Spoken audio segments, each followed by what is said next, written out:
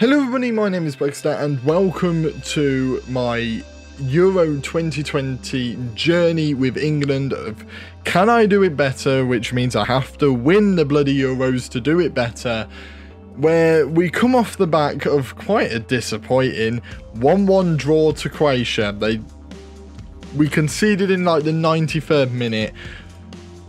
So to do it as good, we have to beat Scotland and Czech Republic, which are both of our games in this episode.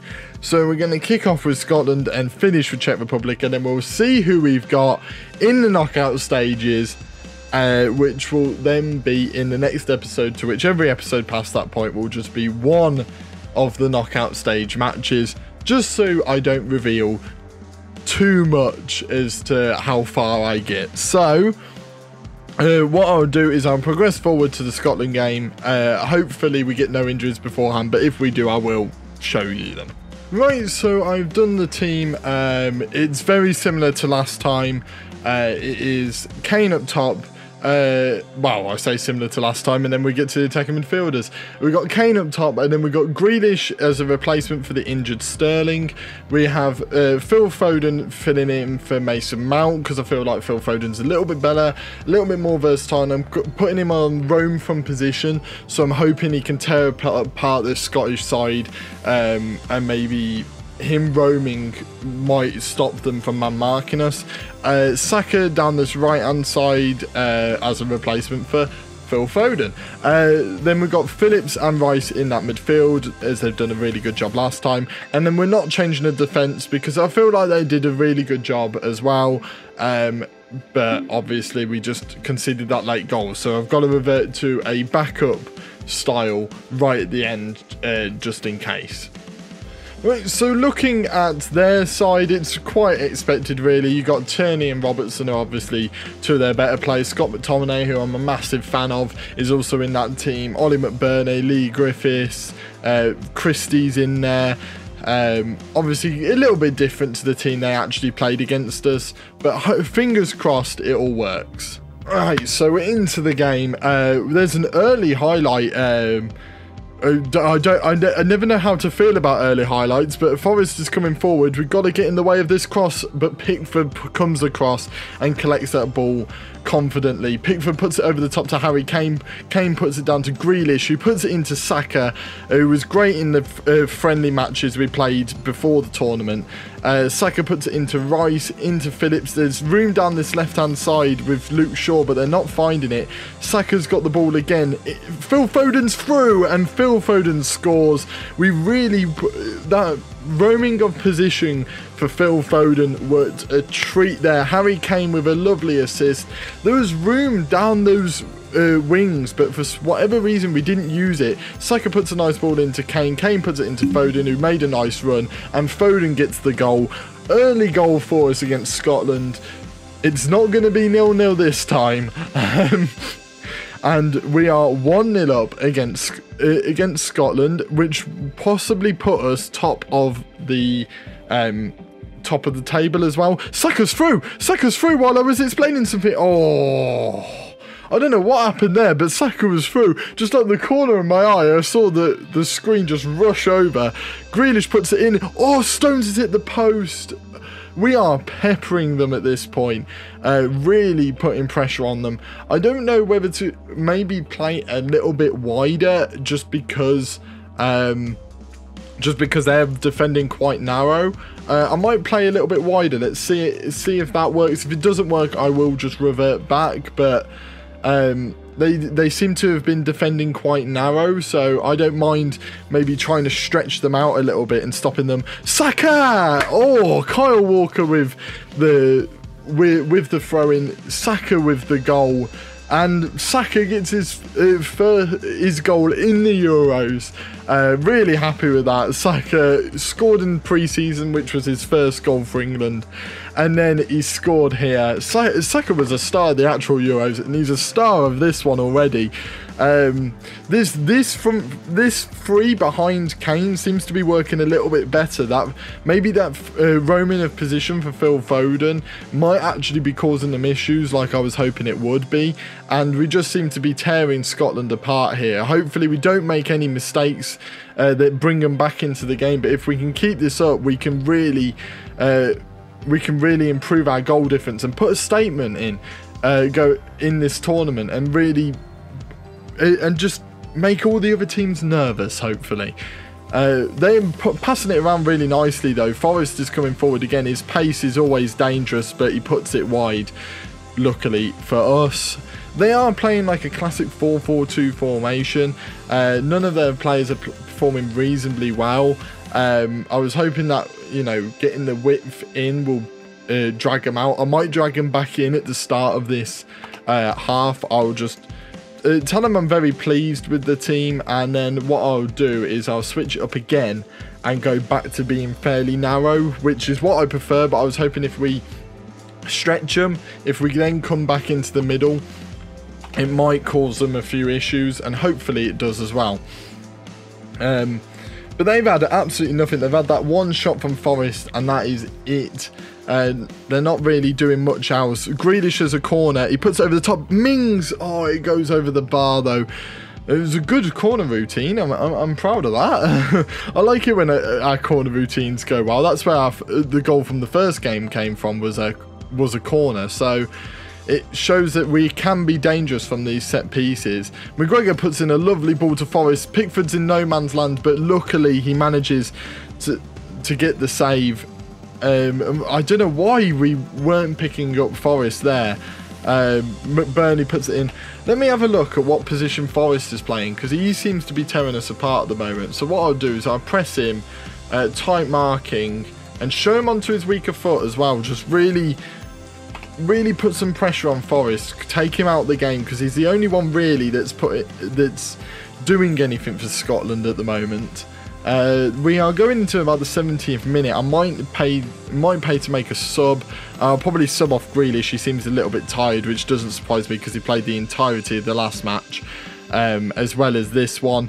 Um, with obviously Sterling getting injured, which obviously isn't like real life, but you know it's whether I can do it better, not whether I can do the exact same journey. So Rice puts it into Saka. Saka's running through. There's no support, but Saka goes on his own and nearly scores a wonderful goal. Um, what I will do is I will take off uh, Jackie Grealish. Um, I don't know who to bring on though, because uh, there's not many people down that left hand side. Um, I could put in Mason Mount uh, and put uh, Phil Foden on this left hand side um, and put Mason Mount in the middle there and see if that works. Um, I will put leave him as an inside forward as well. I will take off Declan Rice uh, for James Ward-Prowse. I will bring on James Ward-Prowse again, uh, switch those two around to make Phillips the more defensive-minded player. And I might leave it as that for now because I might take off uh, Harry Kane if I get the opportunity to, just to keep him fresh for the rest of the tournament. Uh, but I don't want to make all three subs early on. McBurnie with a nice header from the free kick, but luckily it amounts to absolutely nothing. We are getting towards the end now. Oh, there seems to be a highlight. It went to pause, but there seems to be a highlight. If we can get a third goal, I will substitute Harry Kane immediately. Mason Mount is through. Oh, it doesn't really do anything, though. We have to pick up this ball. McBurnie heads it away, but look, uh, but luckily Mings picks it up. Walker's got it now into Harry Kane, but it goes to absolutely nobody. Um, and now they. Oh, I was about to say they're coming for a counter attack, but Walker had him with a great header. Mason Mount is running down this right hand side into Kyle Walker, but it amounts to nothing. And now they can really press the counter attack if if they want to, because we've got Kyle Walker isn't there. Fraser's through into McBurnie. What a tackle! What a tackle! I think that was by John Stones. That is, that is a game-saving tackle there. Uh, I'm to put in um, what I might do actually is I might put in Danny Ings and put him as an advance forward and just see if we could put a bit of pressure on that back line uh, right at the death of the game. I don't really want to make many other substitutions. I feel like we've got backups in all of those positions, especially for the next uh, next game. We get Maguire and Henderson back for the next game, obviously. Uh, but a nice 2 0 win against Scotland will be perfect, and it is a lovely 2 0 win against Scotland. Uh, brilliant performance by all of the lads. Uh, that especially that started not a single performance under seven, uh, which is brilliant. Just a nice, solid performance, nothing too special, but special nonetheless because we did beat Scotland, who are our rivals. So, you know, that is a big victory. So we're on four points now, which I think does mean that we've qualified for the next stage of the European Championships. Obviously, uh, a lot of the third place teams do go through, but on four points, I think that will be enough. Um, so it's all about us bettering Croatia's score to finish top of the group, uh, which is weirdly enough when I did my Euros predictions, that's what I thought the situation would be. Uh, so I'm just doing what I thought we'd do in the Euros, really. Um, but yeah, so next game is against Czech Republic. Um, so we'll fast forward to that game and I'll show you what, what team we will face Czech Republic with uh, before we go into the knockout stages. I'll see you there. Right, so I thought I'd bring you to your attention before we get to the game uh, that we have qualified. It hasn't said that we have qualified, but obviously it is the two best teams in each group and then uh, the four other best teams from each group sort of thing but turkey got one point russia got three points denmark going out with three losses which is a surprise uh, ukraine and north macedonia both being on three points as well but us being on four means that we'll go through so so yeah, we're guaranteed to go through uh, even if we finish in third, but obviously we don't want that. We want to win. Of course we want to win. So let's show you the team that's going to win. Right, so uh, what I have done for this game is I've changed up a few things, uh, tried to get the fitness of a couple of people up as well. So we've got Kane up front, obviously, because he's been playing well so far. He's got gold and assists, so hopefully he can carry on that momentum. We've got Grealish on the left, Foden in the middle, and Sancho on the right hand side. As a winger, I was I'm hoping that he can stretch the opposition a little bit. We've got Henderson to get a bit of uh, fitness back, and Declan Rice in midfield. Uh, we've also got uh, Ben Chilwell, Harry Maguire again to get fitness up. Stones and Walker in defence because Walker has two man of the match performances in his first two games, so I don't really want to drop him. And then we've got Pickford in goal. Um, obviously, I'm, I'm tempted to maybe put Kalvin Phillips in over Rice uh, just because Rice has got two yellow cards so far. Uh, but I feel as though let's just see who we've got in the next round. Maybe, oh, I don't know. Let's just put Phillips in. I d- I don't want to risk it. I don't want to risk it. So I'm putting in Phillips. I don't want to risk Rice. This is the team that's going to beat, Czech Republic. Let's go. Right, so you're looking at uh, Czech Republic's team. They've got some really nice players. They've got Souček in there. Uh, they've got Patrik Schick, who was a star of the Euros, really. He really shone in this Euros. Um, so hopefully we can keep him quiet and get a win and finish top of this group. Right, so our final group game of of the Euros um, is against Czech Republic as it was in real life. Uh, hopefully, oh, nice save by Pickford. Hopefully, we do not uh, drop any points here. Obviously, Czech Republic were tough opposition when we faced them. I think we only beat them 1 0. It was uh, a very I wouldn't say cagey affair, but it was one of those games where, you know, we, we were through, so it was more a case of trying to build momentum for the team. And that's kind of how it feels here, except from the difference is I really do need to win this match. I want to finish top of the group because I want to do it better. And the only way I can uh, feel like I've done it properly better is not only to win it, but to finish top of the group as well, similar to them. Walker's through. Kyle Walker with one, one lovely goal. Kalvin Phillips with the assist. Kyle Walker has been an absolute star for me during this Euros. Uh, Jack Grealish uh, cutting in on the inside. Sancho then got it into Phillips, and Walker made a lovely run, and then he just absolutely blasted it in the top left-hand corner. What a start! Goal in the first 10 minutes against Czech Republic. Uh, I should really get the table up, but I haven't. I will get that table up in a minute. Phillips is stepping up for the free kick. Kalvin Phillips with a lovely free kick. And we go 2 0 up against the Czech Republic. That kind of confirms, really, that we are going to finish top of this group. We are three goals ahead of Croatia in terms of goal difference. So if we don't concede, we are going to look really, really good. Um, we've got another highlight already. This is ridiculous. Chilwell's got it. He puts it into Jackie Grealish. Jack Grealish down this left hand side. He puts it into Jordan Henderson, and Jordan Henderson misses, unfortunately. Uh, I'm going to change this to the league table. There we go. So I can see what's going on. And Scott McTominay has scored for Scotland. So it's a massive uphill battle now for uh, for Croatia to finish top of this group. So we should be safe. And Chilwell's running down this left-hand side. He needs to put a cross and he doesn't. Oh, I didn't know what was going on there. The ball was just pinging off all over the place. So I feel quite content now. I feel quite relaxed um, because obviously we are 2 0 up.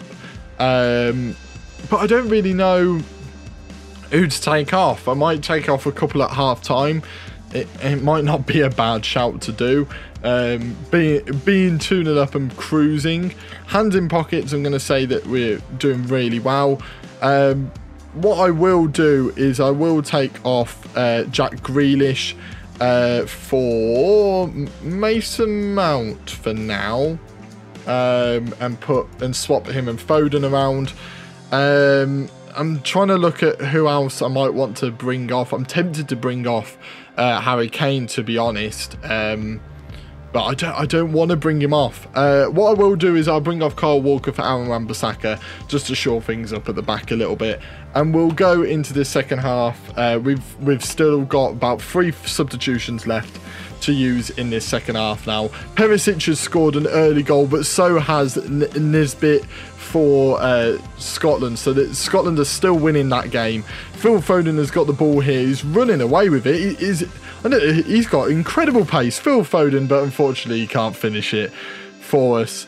Um, yeah, Scotland are still winning this game, so I do feel as though we can possibly take off a few players here. Um, one more goal will really make me feel happy. Like 3 0, I do like. Uh, Wan-Bissaka isn't the best at crosses, uh, but it was a pretty decent cross to be fair. Um, and they, we've given away a free kick to them. Uh, they've tried to put it over the top, but Mason Mount has picked up the ball, puts it into Jadon Sancho, puts it into Phil Foden, who puts it away. And we are 3 0 up against the Czech Republic. That was a lovely move. Mason Mount started it, then went to Sancho, and then to Foden. Lovely, lovely stuff by our team here. We, we've. I, am happy with how we've done in this group stages. Yes, we had the disappointment of the Croatia game, but you know, you've got to face those disappointments at some point, and I'm glad we faced it in the group stage and not later in the competition. Uh, what I will do now, though, is I will start resting players. So Harry Kane off, Phil Foden off for uh, Bukayo Saka uh, on this left-hand side. Um, I don't. I probably need to put him as an inverted winger, though. Um, although, isn't he left-footed? He is left-footed, so I can just put two wingers on the pitch. Lovely stuff there. Um, and then I'm tempted to bring off Kalvin Phillips and bring on uh, Bellingham because Bellingham hasn't really done much in this competition so far. So if we just swap them two around, Jordan Henderson can do a bit of uh, ball winning. Uh, actually, we might put him as a deep line playmaker. And put Bellingham as a box to box and see how that works. Uh, if we do get time, I will take off John Stones as well just to rest him up, and then that would have every single person rested. Actually, if we've done five, two, three, four, five, yeah, we've done five, so we can't take off John Stones, but that's fine. Um, I'm sure we'll be fine. This is where we get sent off. Um, but I'm sure we'll be fine. As time is ticking away, I will praise the team uh, for their performance because a 3 0 win uh, when it let's be honest, we had already qualified is a very, very good uh, performance by the team. Let's not let it drop now, though. Let's not let it drop now. Let's not let it drop now. Wan-Bissaka is put in there. I don't know who. Uh, came in. It might have been Chilwell that helped save it as well. So luckily, no drop goals there. It looks like Scotland are actually going to beat Croatia. Um, fair play to Scotland. They're get, getting a goal, uh, getting a win at in the tournament is better than what they did in real life. But they've Kremichik, I, I don't know his name. He missed anyway. It doesn't matter. He missed anyway. Chilwell into Mason Mount, into Saka. Saka into Calvert Lewin. Calvert Lewin mucked it up, but Sancho picked it up. Jordan Henderson over the top to Bukayo Saka, who crosses it in to absolutely nobody. Uh, and then they're coming forward again. They're trying to get a goal. John Stones with a last ditch tackle that actually scared me a little bit. Jadon Sancho down this right hand side. This is just going mental. Calvert Lewin, Bellingham, Saka. Again, Bukayo Saka is being an absolute star. He's been a star in this Euros. He, he, he, he's come off the bench a couple of times. He's scored a couple of times. And he's kind of putting in the fact that he should start whoever we've got in the next game. Bellingham with the assist as well. Lovely stuff by Bellingham. That is actually a partnership that developed in the friendly matches as well. Uh, but a lovely 4 0 win against Ch- Czech Republic. That is a statement, an absolute statement victory. Uh, Kalvin Phillips uh, with uh, the man of the match performance. Well deserved there. And yeah, we, we got what we wanted a thoroughly professional job. I'm really happy with that. And yeah, let's uh, see who we're going to have in the knockout rounds. Uh, Scotland did actually win, but it wasn't enough uh, to beat Czech Republic to that third place uh, finish. Although all of our goals nearly managed it. Uh, Croatia are the other team that qualify from the group as well. Um, so yeah, I will fast forward and we'll see who we've got in the first knockout round. Right, so the draw has been done, but I will show you the third place teams that did qualify because that changes who you face in the next round. So obviously, if so, if the third place teams come from certain groups, then that messes around who place faces who. And the third place teams that qualified were Russia, Ukraine, Czech Republic, and Poland. Hungary finished second in the group. Germany drew against Hungary and lost to the other two. Hungary drew against Germany and France. Fair play to them. Um, so, yeah, and Czech Republic managed to sneak in even with the 4 0 loss that we gave them. Um, which does mean that teams like Wales, Turkey, Denmark all missing out, Scotland missing out, and obviously Germany being the big ones missing out there. So you must be thinking, who have we got? Who have England got? Poland. England have got Poland in the next round, which, funnily enough, was one of the friendly matches that we played where Bukayo Saka absolutely tore them apart. It's also the one where we played five at the back in, which gives me some some things to think about. Do I go five at the back because we, that's what we beat them with last time, or do I stick to what I think will get us to the win, and that is the four at the back system. I do think that will get us the win. Uh, looking at the draw though, uh, and because obviously some of you will probably be interested actually in who faces who. So we've got uh, Austria facing Czech Republic, France facing Croatia, Holland facing Finland, uh, England facing Poland. Switzerland facing Portugal, Russia facing Sweden, Spain versus Italy, which was the semi finals in real life, but not on this. And Ukraine facing Belgium. I wonder how Spain and Italy managed to face each other. That is bonkers to me. How uh, where did Spain Spain finish second in their group, and so did Italy. Oh, that explains it. Um, but yeah, so we will be facing Poland in the next episode. That will be the one and only game in that episode. So join us for that one and see if we can make it past past that first knockout round. Um, but if you have enjoyed the video, please hit that like button to show me that you are enjoying this series and are enjoying the can I do it better element of the series. Um, comment down below uh, what team you would pick to face Poland. Would you go with the four at the back or would you go with the five uh, that beat them in the friendly matches last time? Uh, and if you're new here, please do subscribe uh, so you do not miss an episode of this. And I shall see all of you in the next video. See ya!